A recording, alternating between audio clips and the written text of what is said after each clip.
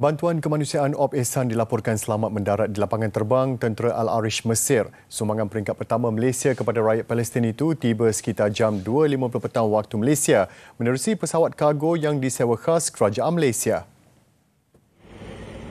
Melalui perjalanan sejauh 7,688 km, mengambil masa 15 jam, pesawat itu terlebih dahulu mendarat di lapangan terbang antarabangsa Chennai, India dan seterusnya di lapangan terbang antarabangsa Sarjah, Emiria Arab Bersatu.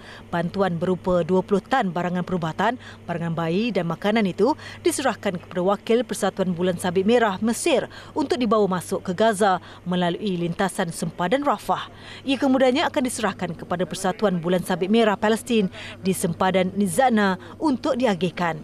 Penghantaran pertama itu sebahagian daripada 50 tan barangan berjumlah lebih 7 juta ringgit yang dikumpul melalui Ops Ihsan yang dilancarkan Kementerian Luar bersama 45 pertubuhan bukan kerajaan NGO. Manakala penerbangan penghantaran kedua sebanyak 20 tan lagi barangan bantuan dijadual 10 November ini.